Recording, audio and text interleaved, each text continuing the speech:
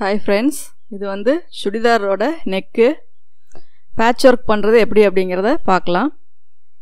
நீங்கள் வந்து யூஸ்வலாக எடுக்கிற கேன்வாஸை விட பேட்ச் ஒர்க் பண்ணும்போது கொஞ்சம் லென்த்தாக நீங்கள் அதோட ஒரு டபுள் மடங்கு சேர்த்து எடுத்துக்கோங்க. எப்பவும் போல் நீங்கள் அது நெக்கோடைய அகலம் எவ்வளவோ அதை நீங்கள் மேல் பக்கம் மார்க் பண்ணிக்கோங்க. இப்போ இதில் வந்து நான் மூணு இன்ச்சு வச்சு மார்க் பண்ணுறேன்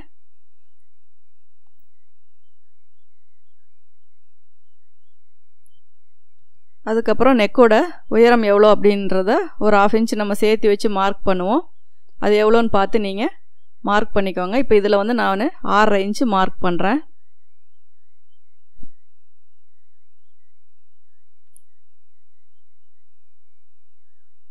இப்போ இது வந்து நீங்கள் ஒரு பாக்ஸ் போட்டுக்கோங்க.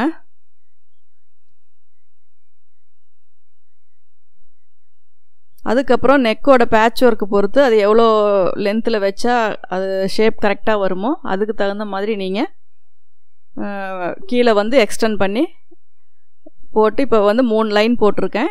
ஒன்று வந்து நெக்கோட அகலம் ஒன்று வந்து நெக்கோட உயரம் கீழே வந்து பேட்ச் ஒர்க் பண்ணுறக்காக அளவு போட்டிருக்கேன். இப்போ இதில் வந்து நான் ஒரு நெக்கோட அவுட்லைன் வந்து மார்க் பண்ணுறேன்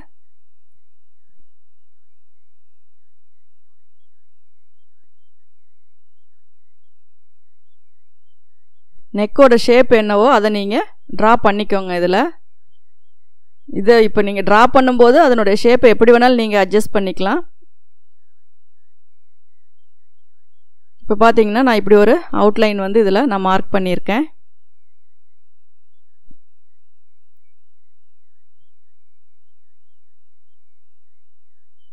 டோட்டலாகவே ஒரு நெக்கோட ஒரு அவுட்லைன் ஃபுல்லாகவே நீங்கள் அதில் மார்க் பண்ணிக்கோங்க. என்னென்ன ஷேப்பில் அது இருக்கோ அது எல்லாமே நீங்கள் இதில் மார்க் பண்ணிக்கோங்க. உங்கள் டபுள் ஃபோல்டு பண்ணியிருக்கனால நீங்கள் வந்து ஒன் சைடு இதுதான் மார்க் பண்ண போகிறீங்க அதனால் அதுக்கு தகுந்த மாதிரி ஸ்ட்ரைட்டில் கேன்வாஸ் வச்சுக்கோங்க. க்ராஸாக வச்சிங்கன்னா உங்களுக்கு அந்த ஃபினிஷிங் கரெக்டாக வராது. கட் பண்ணுறது கஷ்டமாக இருக்கும். எப்போ கேன்வாஸ் யூஸ் பண்ணாலும் அதில் வந்து ஸ்ட்ரைட்டாக நீங்கள் ஃபோல்டு பண்ணிக்கோங்க.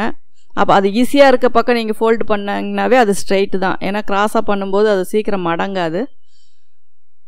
இப்போ பார்த்தீங்கன்னா இது நமக்கு தேவையான அந்த இதை வந்து நம்ம கட் பண்ணி எடுத்திருக்கோம். அந்த அவுட்லைன் பார்த்திங்கன்னா நம்ம எப்படி ட்ரா பண்ணியிருக்கோமோ அதுக்கு தகுந்த மாதிரி நம்ம அதை கட் பண்ணி எடுத்துக்கிட்டோம்.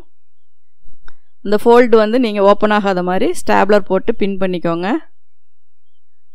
அதுக்கப்புறம் இப்போ பார்த்தீங்கன்னா உள்ளே என்ன ஷேப் இருக்கோ அந்த ஷேப்பை விட நம்ம இன்னொரு கொஞ்சம் எக்ஸஸாக கேன்வாஸ் எடுத்துக்கிட்டு அந்த ஷேப்பை வந்து நம்ம அதில் மார்க் பண்ணிக்கிறோம். பார்த்திங்கன்னா ஒரு இன்ச்சு ஒன்றே கால் இன்ச்சு நீங்கள் வந்து எக்ஸஸாக எடுத்துக்கோங்க. இப்போ இதுக்கு வந்து ஒரு ஸ்டாப்லர் போட்டு ஸ்டாப்லர் போடுறது வந்து அந்த கேன்வாஸ் வந்து நகராமல் இருக்கணும் அப்படிங்கிறக்காக தான்.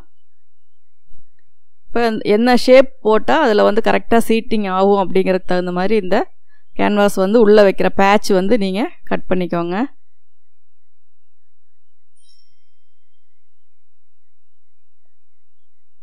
இப்போ பார்த்தீங்கன்னா எக்ஸஸாக தான் இருக்கும் கிளாத்து ஏன்னா இது நம்ம உள்ளே வந்து எக்ஸஸாக கிளாத் தேவைப்படுறனால நெக்கோட மேல் பக்கம் மட்டும்தான் இப்போ கட் பண்ணியிருக்கேன். மீதியெல்லாம் அப்படியே தான் இருக்குது இப்போ இதை வந்து நம்ம ஃபஸ்ட்டே வெட்டி இருக்க கேன்வாஸில் அந்த இடத்த வந்து சீட் பண்ணி பார்க்குறோம் கரெக்டாக ஈவனாக எல்லா போர்ஷனும் கரெக்டாக வர மாதிரி.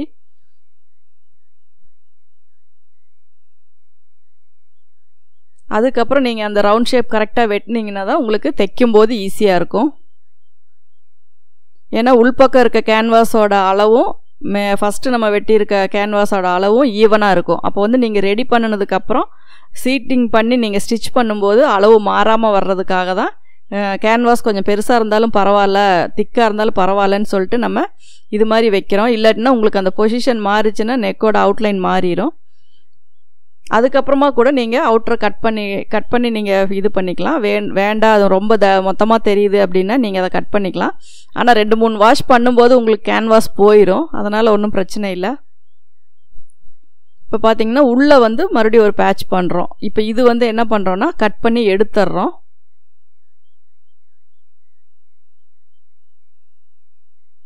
அந்த இடத்துல வந்து நம்ம உள்ளே இன்னொரு கேன்வாஸ் வைக்கிறோம். அதனால் இப்போ கட் பண்ணி எடுத்ததை விட ஒரு ஒரு ஒரு இன்ச்சு எக்ஸஸாக வர்ற மாதிரி நம்ம இன்னொரு கேன்வாஸ் வந்து வெட்டி எடுத்துக்கிறோம். இப்போ பார்த்தீங்கன்னா இதில் டபுள் பேட்ச் வருது. உள்ளே ஃபஸ்ட்டு உள்ளே ஒரு பேட்ச் பண்ணுறோம் அதுக்கு உள்ளே ஒரு பேட்ச் பண்ணுறோம் அப்போ வந்து எந்தெந்த கேன்வாஸில் என்னென்ன கிளாத் வச்சு நம்ம அயன் பண்ணோம் அப்படிங்கிறத நீங்கள் தெளிவாக அதில் மார்க் பண்ணிக்கோங்க. இப்போ பார்த்தீங்கன்னா இந்த நெக்கோட ஷேப் ஒன் சைடு இப்படி இருக்கும். ஃபஸ்ட்டு மெட்டீரியலை வந்து நம்ம லைனிங் கிளாத்தில் அயன் பண்ண போகிறோம் அதனால் அதை அதில் எழுதி மென்ஷன் பண்ணிக்கோங்க. ரெண்டாவது வந்து நீங்கள் பாட்டம் கிளாத்து என்ன கலரோ அதில் அயன் பண்ணிக்கிறீங்க. மறுபடியும் அது கான்ட்ராஸ்ட்டாக தெரியணும் அப்படிங்கிறக்காக அது டாப் கிளாத்தில் வச்சு அயன் பண்ணிக்கிறோம். இப்போ பார்த்தீங்கன்னா என்னென்ன கலர் அப்படிங்கிறத நீங்கள் எழுதியிருக்கீங்க. ஒன் டூ த்ரீ கூட போட்டுக்கலாம். அப்போ தான் உங்களுக்கு அந்த கேன்வாஸ் வந்து மாறாமல் மாறாமல் நம்ம வச்சு அயன் பண்ண முடியும். இப்போ பார்த்தீங்கன்னா இந்த சென்ட்ரு போர்ஷனை வச்சு பாட்டம் கிளாத்தில் அயன் பண்ணுறாங்க ஃபஸ்ட்டு கட் பண்ணினதை லைனிங் கிளாத்தில் வச்சு அயன் பண்ணுறாங்க நெக்கோட அகலம் வந்து உங்களுக்கு நீங்கள் மூணு இன்ச்சு வச்சு நீங்கள் மார்க் பண்ணியிருந்தீங்கன்னா மூணு ப்ளஸ் மூணு ஆறு இன்ச்சு வந்து உங்களுக்கு நெக்கோட அகலம் இருக்கும். அதுக்கு மேலேயும் போகக்கூடாது அதை விட கம்மியாகவும் வரக்கூடாது. கம்மியாக வந்துட்டால் நெக்கு ரொம்ப க்ளோஸ்டாக ஒரு மாதிரி இருக்கும். அகலமாக போயிட்டால் ஷோல்டர்லேருந்து உங்களுக்கு அது ஸ்லிப்பாகி போகும். அதனால் கரெக்டாக வந்து நீங்கள் அதுக்கு தகுந்த மாதிரி அந்த நெக்கோடைய அகலத்தை வந்து மெஷர் பண்ணிக்கோங்க எப்போவுமே. இப்போ பார்த்தீங்கன்னா இது வந்து டாப் கிளாத்தில் அயன் பண்ணியிருக்கோம். செகண்டாக இருந்த பீஸை வந்து நம்ம பாட்டம் கிளாத்தில் அயன் பண்ணியிருக்கோம். இதுக்கு அந்த சென்ட்ரலை மெயினாக ஃபஸ்ட்டு நம்ம லைனிங் கிளாத்தில் வச்சது வந்து யூஸ்வலாக நம்ம எப்பவும் போல் இதில் வச்சு நம்ம ஃப்ரண்ட்டில் தட்டில் வச்சு நம்ம ரெடி பண்ணிக்கலாம். ஆனால் இந்த ரெண்டு பீஸையுமே நம்ம வந்து உள்ளே எக்ஸ்ட்ராவாக ஒரு கிளாத்தை கொடுத்து திருப்பி எடுக்கணும். அப்போ தான் வந்து உங்களுக்கு உள்ளே வந்து இந்த கேன்வாஸ் மறைக்கிற மாதிரி ஒரு கிளாத் வச்சு நம்ம தைக்க முடியும். கரெக்டாக கேன்வாஸ் ரவுண்டோட கட் பண்ணுங்கள் அதிகமாக விட்டு கட் பண்ணிங்கன்னா மறுபடியும் நீங்கள் வந்து கேன்வாஸை வச்சு அதில் சீட் பண்ணும்போது அந்த அளவு வந்து வேரியேஷன் வரும். அதனால் நீங்கள் கரெக்டாக கேன்வாஸோட லைனிங் கிளாத் அந்த மெயின் கிளாத்தையும் வச்சு கட் பண்ணிக்கோங்க. இப்போ பார்த்தீங்கன்னா இது சைடு வந்து ஃபோல்ட் எப்பவும் போல் நம்ம ஃபோல்ட் பண்ணி ஸ்டிச் பண்ணுறோம்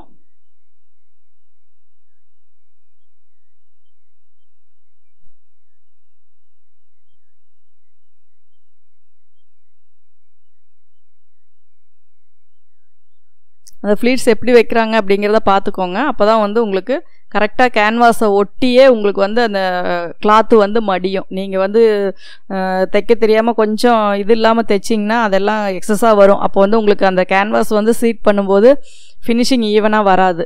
இப்போ பார்த்தீங்கன்னா கரெக்டாக சென்டர் வச்சு நீங்கள் இது பண்ணி நாச்சு போட்டுக்கோங்க.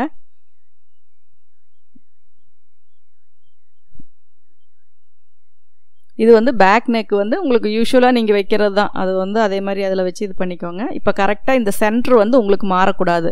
கரெக்டாக இந்த பக்கம் மூணு இன்ச்சு வரணும் அந்த பக்கம் மூணு இன்ச்சு வரணும். அதனால நீங்கள் கரெக்டாக அதே மாதிரி கீழே வர பேட்சுமே வந்து ந நம்ம செஸ்ட்டுக்கு சென்டரில் கரெக்டாக வரணும். அதையும் கவனிச்சுக்கோங்க. ரெண்டு பக்கம் நீங்கள் ரெண்டாக துணி ஃபோல்டு பண்ணி நல்லா ப்ரெஸ் பண்ணிக்கோங்க. இல்லாட்டினா அயன் பண்ணிக்கோங்க.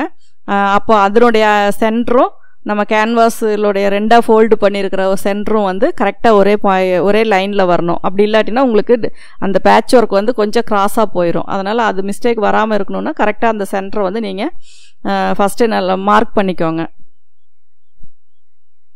கரெக்டாக பார்த்தீங்கன்னா அந்த கார்னர் அந்த இதெல்லாமே நான் நீங்கள் அந்த பெண்டு கேர்வ் லைன் இது எல்லாத்தையும் கரெக்டாக கேன்வாஸை ஒட்டி நான் கேன்வாஸ் மேலே அவங்க தையல் போடலை. கேன்வாஸை ஒட்டி போடுறாங்க. அதுக்கப்புறம் ஒரு கால் இன்ச்சு விட்டு அந்த அவுட்ரு வந்து கட் பண்ணுறாங்க நமக்கு வந்து பேட்ச் ஒர்க் பண்ணுறது வந்து ப்ளவுஸாக இருந்தாலும் சுடிதாராக இருந்தாலும் எல்லாமே ஒரே மெத்தேடு தான். இப்போ இதையே நம்ம ப்ளவுஸுக்கு வந்து பேக் நெக்காகவும் யூஸ் பண்ணிக்கலாம். எல்லாமே வந்து நம்ம ஒரு க்ரியேட்டிவ் தான். நீங்கள் அது எப்படி அது ஃபினிஷிங் பண்ணுறீங்க அப்படிங்கிறது தான் ஒரு நார்மலான ஒர்க்காக இருந்தாலுமே உங்களுக்கு வந்து அது ஒரு கிராண்டாக தெரியும். இந்த மாதிரி எல்லாம் சிசர் கட் போட்டுக்கோங்க. பேட்ச் ஒர்க் பண்ணும்போதெல்லாம் கொஞ்சம் பொறுமையாக ஸ்டிச் பண்ணிங்கன்னா தான் அந்த ஃபினிஷிங் நீட்டாக வரும். இப்போ பார்த்தீங்கன்னா அந்த கார்னர் எல்லாம் நல்லா நீங்கள் நீடில் விட்டு நீடிலோட பேக் சைடோ இல்லை சிசரோட இதோ இல்லை அதுக்காக ஏதாவது ஒரு எக்யூப்மெண்ட்ஸோ வச்சு நீங்கள் அந்த கார்னர் எல்லாம் நல்லா திருப்பி விட்டுக்கோங்க. அப்போ தான் வந்து உங்களுக்கு அந்த ஷேப் வந்து ரைட் லெஃப்ட் அதாவது இந்த பக்கமும் அந்த பக்கமும் மாறாமல் ஒரே மாதிரி நமக்கு வரணும். அப்படி வந்தால் தான் நம்ம பண்ணுற பேட்ச் ஒர்க் வந்து நீட்டாக இருக்கும். எதுவுமே வந்து உங்களுக்கு தைக்க தைக்க அந்த அந்த ஒர்க் வந்து ஈஸியாக தெரியும். நீங்கள் வந்து ஃபஸ்ட்டு பார்க்கும்போது கொஞ்சம் கஷ்டமாக தெரியும். ஆனால் ரொம்ப இன்ட்ரெஸ்டாக இருக்கும் நீங்கள் இந்த மாதிரி பேட்ச் ஒர்க் பண்ணுறது தைக்க தைக்க வந்து உங்களுக்கு அது ஈஸியாக இருக்கும். இப்போ வந்து ஃபஸ்ட்டு கார்னரில் வந்து தையல் போடுறாங்க.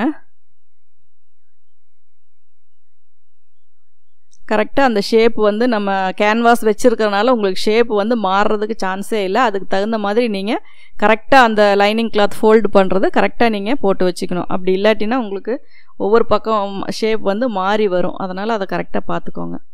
இப்போ பார்த்தீங்கன்னா இந்த சென்டர் பாட்டம் கிளாத் இது பண்ணுறது வந்து நம்ம ஒரு லைனிங்கில் வச்சு திருப்புறோம்.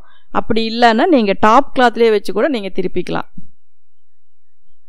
இப்போ இதுக்கு வந்து நான் மேல் பக்கம் கரெக்டாக அந்த உள்ள அந்த ரவுண்டு இது மட்டும்தான் நம்ம ஸ்டிச் பண்ணுறோம் அவுட்ரு வந்து நீங்கள் அதே கே கேன்வாஸ் அளவுக்கு நீங்கள் கட் பண்ணிக்கலாம்.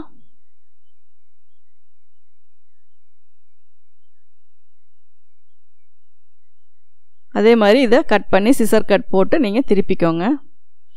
அதே மாதிரி இது சென்டர் உள்ளே வைக்கிற பேட்ச்சு இதுக்கும் அதே மாதிரி நீங்கள் மேல் பக்கம் தையல் போட்டு திருப்பி உள்ளே ஃபுல்லாக தைய இது பண்ணிக்கலாம் ஓவர்லாக் போட்டுக்கலாம்.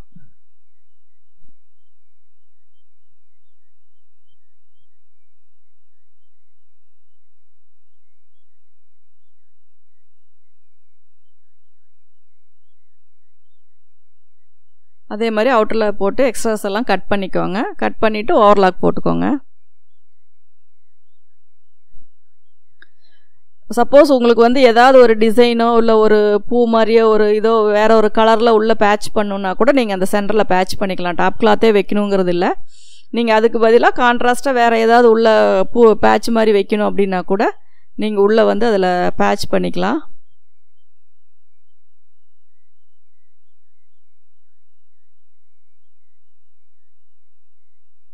பார்த்திங்கன்னா ஒரு கால் இன்ச்சு விட்டு எல்லாத்தையுமே கட் பண்ணி எடுத்துட்டாங்க.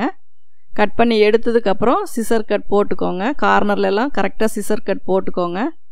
போட்டுட்டு நீங்கள் இதையும் அதே மாதிரி திருப்பிட்டு உள்ள லைனிங்கில் அது கேன்வாஸ் எவ்வளோ இருக்கோ அதே அளவுக்கு கட் பண்ணிக்கோங்க.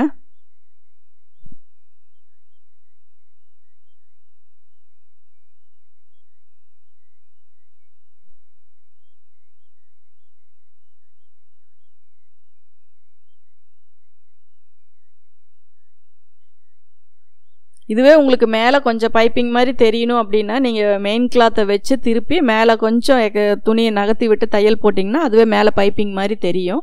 இப்போ இது லைனிங் கிளாத் அப்படிங்கிறனால உள்ளே சுத்தமாக எல்லாத்தையுமே உள்ளே வச்சு நம்ம ஃபோல்டு பண்ணி மேலே வந்து படிமான தையல் போட்டுக்கலாம்.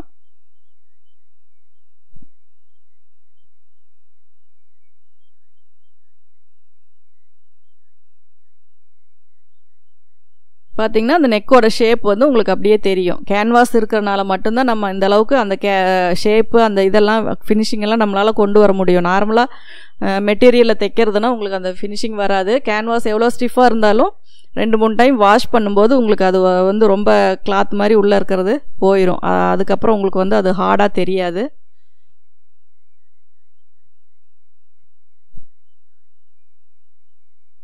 இப்போ இதை வந்து நம்ம அயன் பண்ணிக்கலாம். நீட்டாக அயன் பண்ணி ஓவர்லாக் போட்டுக்கிட்டிங்கன்னா இன்னும் நல்லா நீட்டாக இருக்கும்.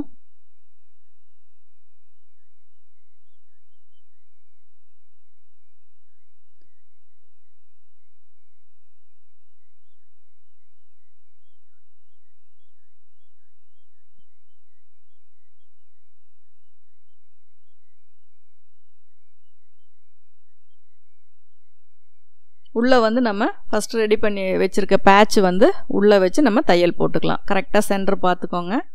அந்த சென்டருக்கு தகுந்த மாதிரி உள்ளே வச்சு நம்ம தையல் போட்டுக்கலாம். இது உங்களுக்கு டல்லாக தெரியுது அப்படின்னா உள்ளே நீங்கள் வேறு கான்ட்ராஸ்ட்டாக வேறு கலர் வச்சுக்கலாம். அப்படி இல்லாட்டினா ரெடிமேடாக விற்கிற பேட்ச் வாங்கி அதில் நீங்கள் சென்டரில் வச்சுக்கலாம். மெட்டீரியலுக்கு தகுந்த மாதிரி நீங்கள் அந்த டிசைனிங் பண்ணிக்கலாம். இது வந்து நார்மலாக ஒரு காட்டன் மெட்டீரியல் தான். அதனால் நம்ம டாப் கிளாத்தையே அதில் வச்சுக்கிட்டோம்ல.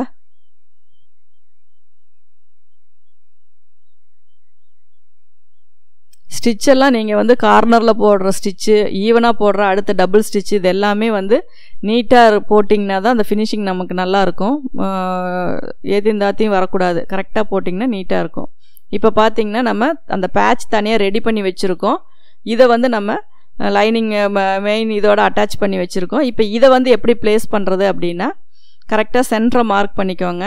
நம்ம கட் பண்ணும்போதே நான் சொன்னேன் நீங்கள் வந்து ரெண்டு கேன்வாஸையும் ஒன்றா வச்சு தான் கீழே கட் பண்ணியிருக்கீங்க அப்போ வந்து அந்த ரெண்டும் ஒன்றா வச்சு நீங்கள் பின் பண்ணிவிட்டு மேலே தையல் போட்டுட்டீங்க அப்படின்னாவே உங்களுக்கு நெக்குடைய இறக்கம் அகலம் எல்லாமே வந்து கரெக்டாக வந்துடும் இப்போ பார்த்தீங்கன்னா ரெண்டு கேன்வாஸோட அளவும் ஒரே அளவு தான் வச்சு கட் பண்ணியிருக்கோம் அதனால் அந்த பின் பண்ணும்போது உங்களுக்கு அதில் வந்து நீங்கள் வித்தியாசம் உங்களுக்கு வராது. கரெக்டாக அந்த ரவுண்டோட வச்சு நீங்கள் கீழ் கீழ்ப்பக்க ரவுண்டோடு வச்சு அப்படியே பின் பண்ணிக்கோங்க. அப்போ வந்து உயரமும் அதே அளவு தான் உங்களுக்கு அகலமும் அதே அளவு தான் கரெக்டாக வந்துடும் அதனால தான் சொல்கிறேன் கேன்வாஸை வந்து கரெக்டாக எக்ஸஸ் இல்லாமல் கரெக்டாக கட் பண்ணிக்கிட்டிங்கன்னா கரெக்டாக வரும். இப்போ பார்த்தீங்கன்னா நம்ம இதில் பேட்ச் பண்ணிட்டோம். இப்போ இதில் வந்து நம்ம ஸ்டிச் பண்ணிக்கலாம். நீங்கள் ஃபஸ்ட்டே வந்து பக்கத்தில் இருக்க அவுட்ரு ஸ்டிச் போட்டுட்டிங்கன்னா இப்போ ஸ்டார்டிங்லேருந்து அந்த பா கரெக்டாக அந்த எட்ஜிலே போட்டிங்கன்னா நீட்டாக இருக்கும். டபுள் தையல் நீட்டாக வரும். அப்படி இல்லை புதுசாக நீங்கள் தைக்கும்போது கொஞ்சம் இதாக இருக்கும். அதுக்கப்புறம் நீங்கள் கொஞ்சம் அட்ஜஸ்ட் பண்ணி ஸ்டிச்சஸ் எல்லாம் கரெக்டாக அந்த டபுள் ஸ்டிச் அப்படின்னா எல்லா இடத்துலையும் ஒரே அகலம் வர மாதிரி போடுங்க. அப்போ தான் வந்து அந்த ஃபினிஷிங் பார்க்குறக்கு நீட்டாக தெரியும்.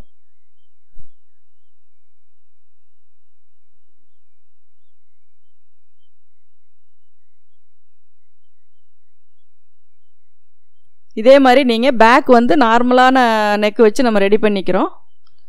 ரெடி பண்ணிவிட்டு இப்போ பார்த்தீங்கன்னா உங்களுக்கு ஃப்ரண்ட் நெக் வந்து ரெடி ஆயிடுச்சு இதுலேயே டபுள் ஸ்டிச் போட்டுக்கோங்க. போட்டுட்டு உள்ளே வந்து உங்களுக்கு ரொம்ப திக்காக இருக்குது அப்படின்னா அந்த பேட்ச் பண்ணிங்களா? இப்போ மெஷர்மெண்ட்டுக்காக தான் நம்ம ஒரே அளவாக கட் பண்ணோம். இப்போ நம்ம நெக்கு வந்து அட்டாச் பண்ணியாச்சு. இதுக்கப்புறம் உங்களுக்கு உள்ளே இருக்கிற கிளாத்து எக்ஸஸாக இருக்குது அப்படின்னா நீங்கள் அதை வெட்டிக்கலாம். இப்போ பார்த்தீங்கன்னா ஷோல்டர் வந்து ஜாயின் பண்ணுறாங்க எப்பவும் போல் நம்ம ஷோல்டர் வந்து பிசுறு உள் பக்கமாக போகிற மாதிரி ஷோல்டர் வந்து டபுள் ஸ்டிச்சு நீங்கள் போட்டுக்கோங்க.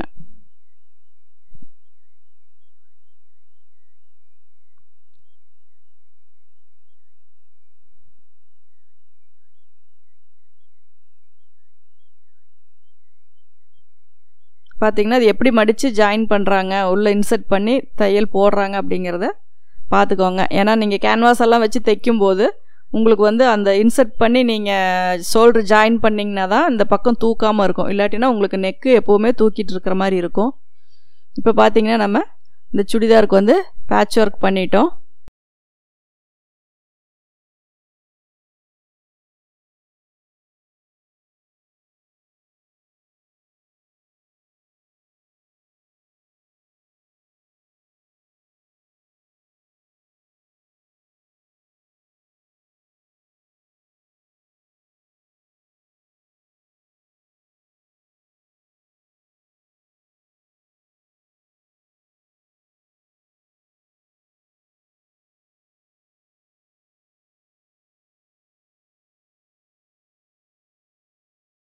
நீங்கள் தொடர்ந்து இந்த சேனலை பார்த்து யூஸ் பண்ணிக்கணும் அப்படின்னா இந்த சேனலை சப்ஸ்கிரைப் பண்ணுங்க பெல் பட்டன் ப்ரெஸ் பண்ணுங்க உங்க ஃப்ரெண்ட்ஸ் கிட்ட ஷேர் பண்ணுங்க. அதில் ஏதாவது உங்களுக்கு கமெண்ட்ஸ் தெரிவிக்கணும்னா கமெண்ட்ஸ் பாக்ஸில் போடுங்க. தேங்க்யூ ஃபார் வாட்சிங்